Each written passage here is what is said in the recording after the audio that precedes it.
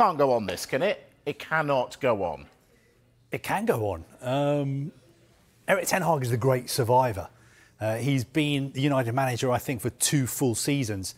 I think he's lost something like 30, 34 games, and he's still got his job. I think the main reason he's got his job is because he won two trophies. They weren't the main trophies, the title or the European Cup, but he won the FA Cup and the Carabao Cup as well. I think that is why the reason that is the reason why he still got a job. And he survived some really shocking performances and results. The infamous, infamous losing 7 0 to Liverpool at Anfield. Uh, he survived that. Just four days later, uh, they beat Real Betis 4 1. So I think in the short term, United are backing him. But if United keep playing the way they did uh, against Spurs yesterday, because to my eyes, you know, it didn't really look like, especially in the first half, that the players were playing uh, for the manager. Unless he sorts that out, then he knows himself that he's under pressure and he's under serious pressure of losing his job because performances like that are totally unacceptable. Right. You just said to me he kept his job because he won the FA Cup final. He beat a Manchester City side.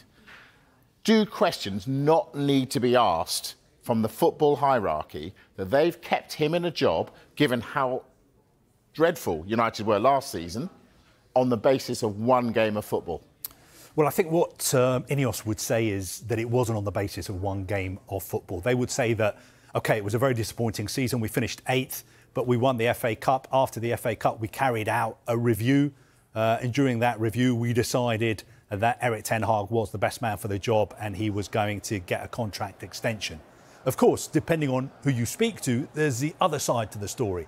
And the other side to the story is that they went out and spoke to lots of different candidates. Everybody knows who they are. I don't need to go through all the names. And for whatever reason, they couldn't agree a deal with one of the other candidates. So they went back to Erik Ten Hag. They went out, flew to Ibiza, interrupted his summer holiday, sat down, spoke with him, and said, Erik, you know what? Actually, you are the man this is the plan for the future. We're going to make some changes. You're going to get some new assistant managers. We're going to give you more money to spend uh, in the summer. There was going to be a reboot. Now, six games into, six, seven games into the season, the reboot doesn't appear to be working. But to be fair to Ineos, I don't think they judged Erik Ten Hag on just that FA Cup final win against City. Right, but they did go and speak to a load of other managers, as you've just said. Does that mean they have actually missed out on some viable options? Well, who were they speaking to uh, in the summer? Who they're considering? Uh, okay, Thomas Tuchel is still available. Mauricio Pochettino has got a job now. Roberto De Zerbi has got a job now. Thomas Frank is still at Brentford. Uh, the one name they were linked with in the summer who's now available, who wasn't then, is Gareth Southgate. We know he's got close links with Dan Ashworth. He's got close links with Dave Brailsford as well. I think it would be a big, big story if he was ever to become the United manager. I'm not sure whether some United fans would accept him being their manager. It would be a difficult sell to them. But I just sense at the moment we're talking about Erik Ten Hag's future when he's still got a job.